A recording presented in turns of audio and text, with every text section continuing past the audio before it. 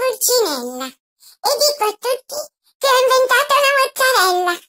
Mi metto la maschera di Arlecchino e faccio a tutti un bel. Oppure mi metto la maschera di Colombina, così regalo a tutti una frittellina.